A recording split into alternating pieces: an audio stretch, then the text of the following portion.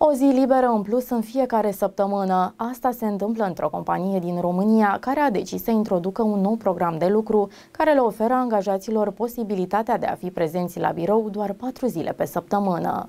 Compania ING Hubs România a decis să introducă un nou program de lucru care le oferă angajaților posibilitatea de a fi prezenți la birou doar patru zile pe săptămână. Reprezentanții companiei au lansat un program pilot menit să testeze reacția angajaților și să monitorizeze efectele generate de reducerea zilelor de lucru. Se pare că la finalul perioadei de testare, rezultatele înregistrate au fost în mare parte pozitive, productivitatea și moralul angajaților fiind primele aspecte analizate. Astfel, noul mod de lucru este opțional și implică trecerea de la 5 zile de lucru cu 8 ore pe zi la 4 zile de lucru pe săptămână cu 10 ore pe zi în acord cu legislația în vigoare. De asemenea, angajații pot alege programul cu 9 ore de lucru pe zi, timp de 4 zile și 0,5 zile libere pe săptămână. Totodată, modelul de lucru al companiei este unul hibrid, angajații având posibilitatea de a îmbina lucrul de acasă cu cel de la birou. Discuția despre săptămâna de lucru de 4 zile are loc de multă vreme, însă cel mai convingător studiu în favoarea acestei idei a fost finalizat recent. Rezultatele au fost favorabile ambelor părți. Companiile participante au raportat că le-au crescut veniturile,